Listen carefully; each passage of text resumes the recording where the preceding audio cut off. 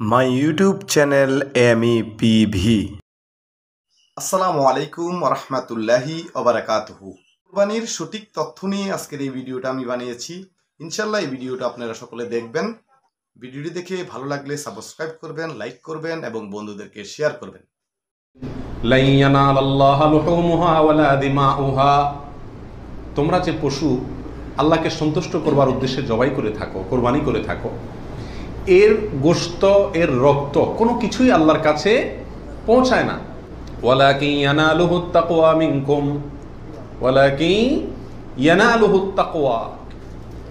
কিন্তু তোমাদের অন্তরে যে তাকওয়াটা আছে, কোন মানসিকতা নিয়ে, কোন উদ্দেশ্য নিয়ে, কেন তুমি কোরবানি করছ, কোরবানি করার সময় তোমার মনের ভেতরকার অবস্থাটা কি, সেটা কিন্তু আল্লাহর কাছে ঠিকই পৌঁছে যায়।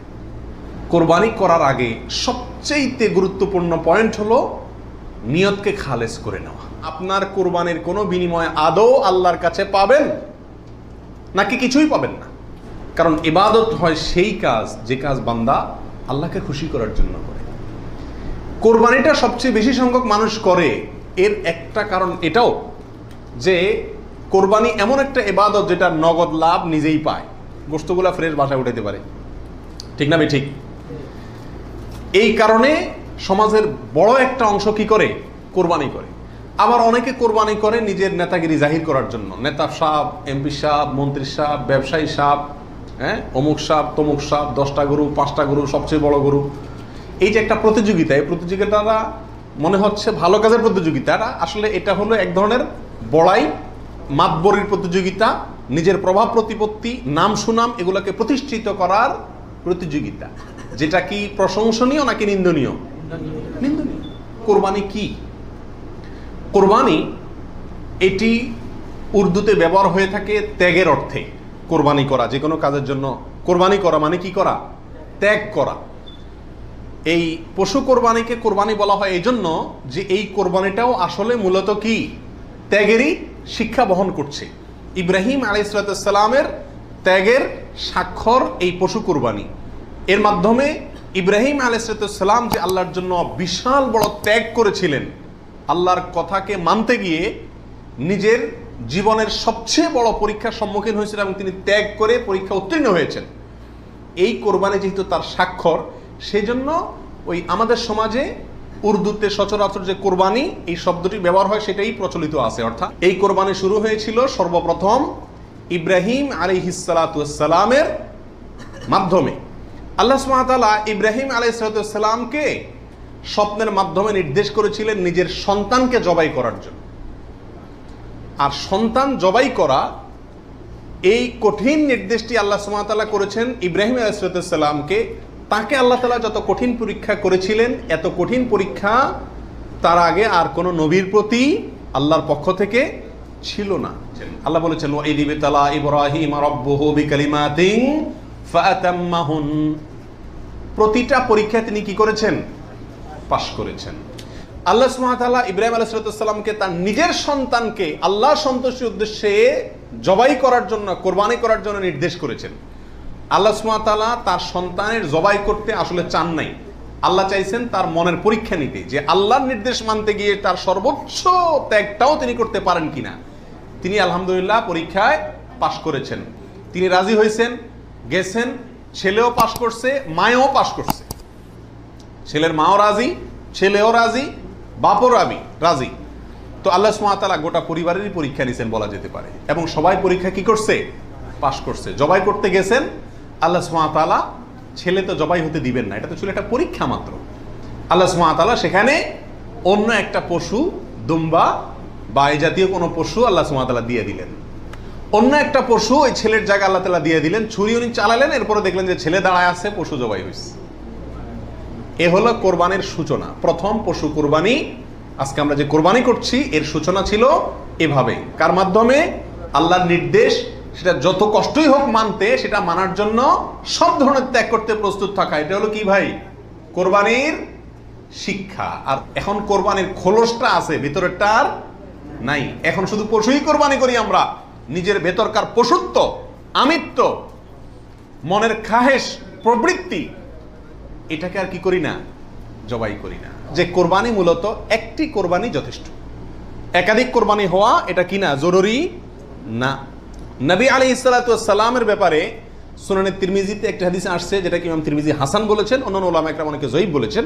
কিন্তু জয়ীব বললেও ওই একই বিষয়ে আরও বিভিন্ন হাদিস আছে। সর্বসাকুল্যে ওলামা একরাম বিষয়টা প্রমাণিত। সেটা হলো যে নবী আলাইসালাম দশ বছর মদিনাতে বসবাস করেছেন, হিজরতের পরে, এবং এই দশ বছরের প্রতি বছর তিনি কোরবানি করেছেন, এবং দুটি হৃষ্টপুষ্ট ভেড়া তিনি কোরবানি করেছেন। দুটি করেছেন। তিনি যদি চাইতেন, সংখ্যা অনেক বাড়াইতে পারতেন। উট এবং আরও অনেক বড় বড় পশু দিয়ে কি করতে পারতেন?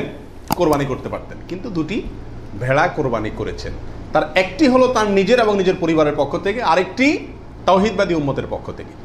তাহলে বোঝা গেল, কোরবানির সংখ্যা বাড়ানোর ভিতরে খুব বেশি কল্যাণ নাই। হ্যাঁ কেউ যদি কোনো এলাকাতে গরিব মানুষকে খাওয়ানোর উদ্দেশ্যে বেশি কোরবানি করে, নাম ফুটানোর উদ্দেশ্য না থাকে, তাহলে অবশ্যই সেজন্য তিনি আল্লাহর কাছে কি পাবেন?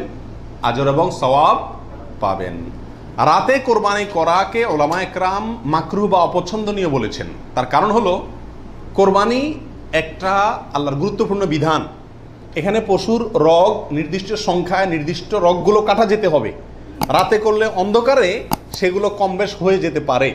এই আশঙ্কায় দিনের বেলায় করা উত্তম এবং রাতের বেলা মাকরু বলেছেন।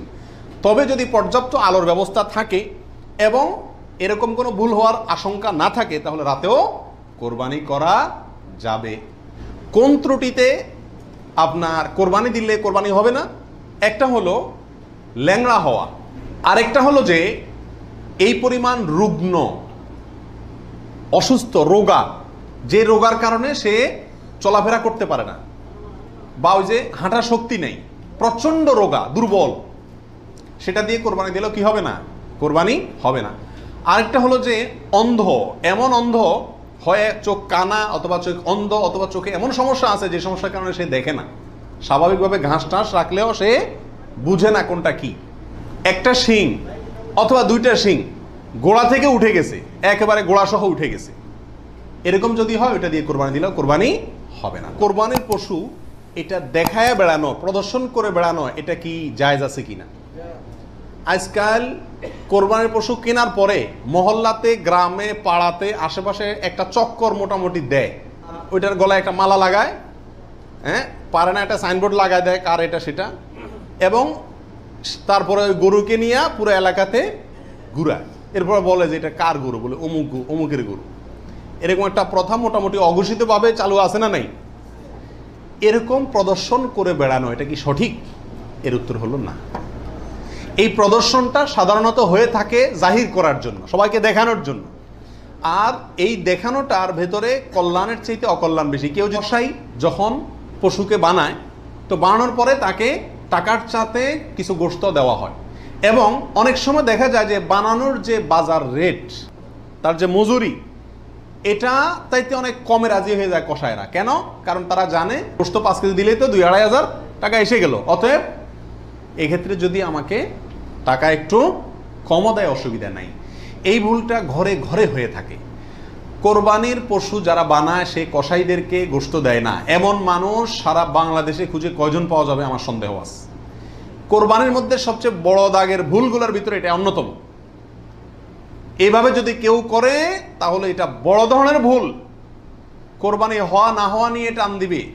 নেবের সালাম পরিষ্কার ভাষায় বলেছেন যে তোমরা কসাইকে, জাজ্জারকে, কোরবানের পশুর কোনো কিছু দিবা না। তাকে আলাদা টাকা দিবা। তার মজুরি যেটা, সেটা দিবা। কেন তাকে পশুর কিছু দেওয়া যাবে না? এই জন্য দেওয়া যাবে না যে, এই পশুটা আপনি জবাই করছেন কার জন্য? আল্লাহর জন্য। এটার মালিক কে মূলত? আল্লাহ। যেহেতু আল্লাহ খায়ও না, পরেও না, আল্লাহর জন্য কিছু দিলে আল্লাহ বলেন, আমার পক্ষ থেকে গরিবকে দিও। এটা হলো আল্লাহ সিস্টেম। কিন্তু কোরবানির ক্ষেত্রে শুধু ব্যতিক্রম আল্লাহ বলেছেন, ঠিক আছে আমার জন্য দিস সব কিছুই গরিবরে দিতে বলি এটা তোমার খাইতে দিলাম আমি। আল্লাহ আমাকে কি করছেন? খাওয়ার সুযোগ দিছেন। এখন আমি যদি এটা বিক্রি করি বা কোনো কিছুর বিনিময়ে কাউকে দেই, তাহলে সেটা কি হবে না? জায়েজ হবে না। কসাইকে শুরুতে সাপ বলে দিতে হবে যে, ভাই গোস্ত পাবা না। কত টাকা নিবা সাপ বলো। তুমি সে আশা করে বসে থাকিও না। কসাই যদি আপনার প্রতিবেশী হয়, আপনার আত্মীয় হয়, অথবা অন্য গরিব মানুষ হয়, অন্য দশজন গরিবকে যে পরিমাণ দিতেন, তাকেও সে পরিমাণ দেন, তাহলে সমস্যা নেই। নারী বুড়িও যদি কেউ সাফ করে, তাকেও কি দেওয়া যাবে না? ওই নারী বুড়ি সাফের বিনিময়ে নারী বুড়ির অর্ধেক বা গরুর কোনো অংশ তাকে দেওয়া যাবে না। সাফ করলে সাফের বিনিময়ে তাকে ক্যাশ টাকা দিয়ে দিবেন। কথা বুঝতে পারছি? নারী যদি দিতে হয়, তাহলে গরিব মানুষ হিসাবে দিলেন, সেটা ভিন্ন কথা। কিন্তু এজ এ তার কাজ পারিশ্রমিক হিসাবে কি করতে পারবেন না, দিতে পারবেন না। এটা বহুলের ভিতরে একটা এবং এটা প্রচুর পরিমাণে মানুষকে সচেতন করা দরকার ব্যাপারে। কোরবানির ভাগিদারদের মধ্যে কারও ইনকাম হারাম। অথবা উদ্দেশ্য অসৎ, গোস্ত খাওয়ার উদ্দেশ্য। আছে না নেই? কোরবানি না দিলে ছেলে মেয়েগুলা কার দিকে চেয়ে থাকবে? কোরবানি না দিলে নতুন আত্মীয়, তারা কি বলবে? ব্যয়ের বাড়িতে রান কেমনে পাঠাবো? এরকম অনেক উদ্দেশ্য থাকে কি থাকে না? সারা জীবন দিয়ে আসছি, এবছর না দিলে সমাজে মুখ থাকে না। মানুষ কি বলবে? এই মানসিকতা নিয়ে কোরবানি অনেকে দেন না দেন না? এরকম যদি কেউ আপনার ভাগিদারদের মধ্যে, অংশীদারদের মধ্যে থাকে, অথবা কেউ যদি কোরবানি করে, তার ইনকাম হারাম, আর সে হারাম ইনকাম থেকেই দেয়। অনেকের হারামও আছে, হালালও আছে। সুদও খায়, ঘুষও খায়, আবার বেতনও আছে, হালাল। তাহলে সেটা ভিন্ন। একজনে কোরবানির পশুতে হারাম ইনকাম ইনভেস্ট করছে, আপনি জানেন। অথবা তার উদ্দেশ্য অসৎ। তাহলে এই পশুতে আপনি এবং আরও যে কজন অংশগ্রহণ করবে, কারোর কোরবানি হবে না। এই জন্য অংশীদার এবং কোরবানির ভাগই নেওয়ার ক্ষেত্রে বহু হিসাব নিকাশ করে নিতে হবে।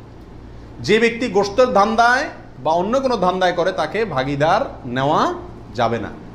মৃত ব্যক্তির নামে কোরবানি দেওয়ার ক্ষেত্রে জীবিত ব্যক্তির সাথে মিশিয়ে দেওয়া, মিক্স করে দেওয়া, জীবিত ব্যক্তির সাথে অধীনস্থ করে মৃত ব্যক্তির নাম যোগ করা বা তার পক্ষ থেকে দেওয়া, এটা হলো সবচেয়ে ঝামেলামুক্ত এবং মতপার্থক্যের ঊর্ধ্বে উঠা। মা বাবা স্ত্রী বড় ভাই, এদের কাউকে খুশি করার জন্য কারোর পক্ষ থেকে, সমাজে বলে কারোর নামে, কোরবানি দেওয়া যাবে কি যাবে না? উত্তর হলো না। এটা রিয়া, লৌকিকতা, মানুষ দেখানো, এটা শিরকে আসগর।